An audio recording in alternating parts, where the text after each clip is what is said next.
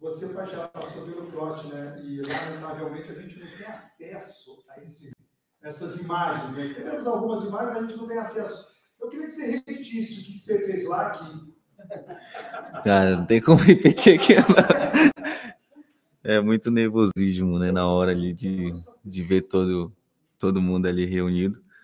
Mas é, foi bem descontraído, foi bem, foi bem mais para dar uma uma descontraída ali no, na, depois da, da refeição.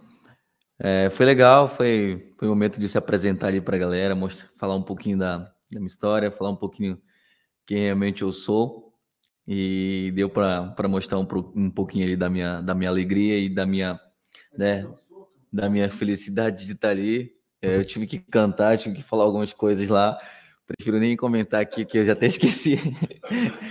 Felizmente até tentei colar a música lá, mas infelizmente tive que cantar do mesmo jeito, mas eu, eu fui bem eu fui bem representado também pelo Paquetá, me ajudou lá a cantar. Olha, eu falar com você, prazer, Canal Felipe, na área. Vou postar uma foto sua.